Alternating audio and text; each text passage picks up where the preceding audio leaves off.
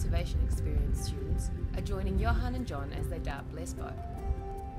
Immobilisation is a technique used in game capture to safely select animals to remove from the reserve without causing undue stress.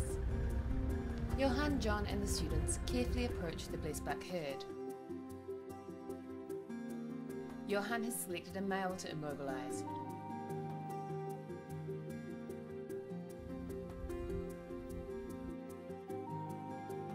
Lines up and takes the shot. Game capture is an important aspect in reserve management. The sale and relocation of animals ensures the genetic health and diversity of a species. This quick working light anesthesia allows the blesbok to be handled safely. Once immobilised, the Shamwari Conservation Experience students can come in and load the blesbok.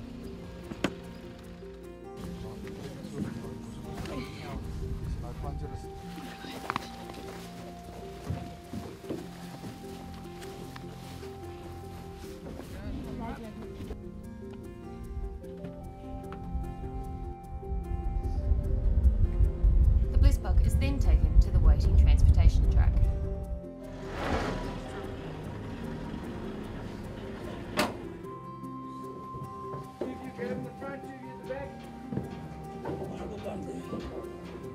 He is carefully loaded, then given the antidote to the anesthesia before he continues his journey to his new home.